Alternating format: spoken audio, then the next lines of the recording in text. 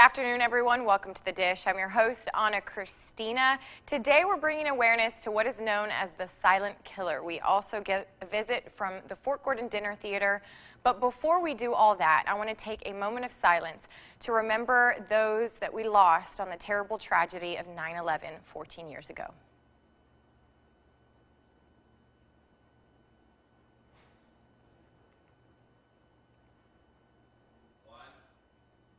So just a couple of weeks ago, I had some very sweet friends compete for the title of Miss Teen USA against 50 other women. They include Texas, Georgia, even Oklahoma, and of course they had to win their state title before moving on to the national um, competition. But these girls, I mean, they spend countless hours preparing not only for the competition, but traveling, doing speaking engagements, working for charitable organizations. And um, now if the girls win, Miss Teen USA. They're moved up to New York City. They live in Trump Towers. They enroll at the New York Film Academy. And then they also continue to travel the states and even the world representing different organization, charity organizations.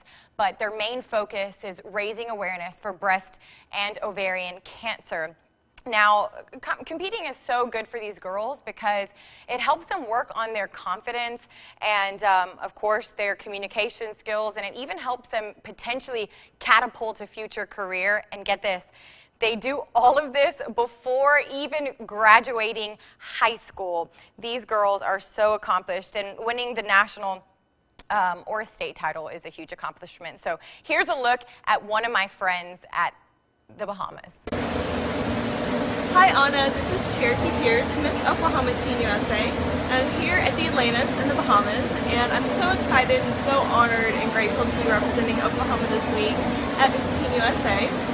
And by the time you see this, I mean Miss Teen USA will be crowned, so stay tuned. So when she sent this, they had not yet competed, but the winner has already been crowned since then, and the winner is Louisiana. You can find her in the middle, Katherine Haik, Miss Teen USA. Such a beautiful girl, did an amazing job. I got to watch half of the show, and we're also very proud of Cherokee. She made it all the way to the semifinalist, and very proud of all the other ladies that competed as well. It's not an easy thing to do to get up on a stage like that and be judged.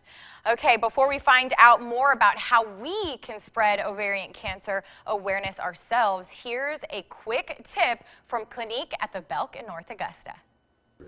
Hey guys, I'm here at the Clinique counter at the Belk in North Augusta. I'm joined by Nancy Glass. She's Clinique's beauty expert, and Miss Letitia, she's our model today. Now, Nancy, you're giving away Clinique's beauty secrets today, right? I don't know that we discussed that. well, we're yeah. gonna do a few tips and tricks, right? Right. Okay, so and some secrets. And some secrets. Okay. Um, so I've been reading a lot about double cleansing, making sure that I'm taking off my makeup, I'm cleaning my face. But really, can you talk to me about the purpose as to why I'm doing that? Absolutely, because Clinique, um, we started with our three-step skincare system many years ago, designed by a dermatologist.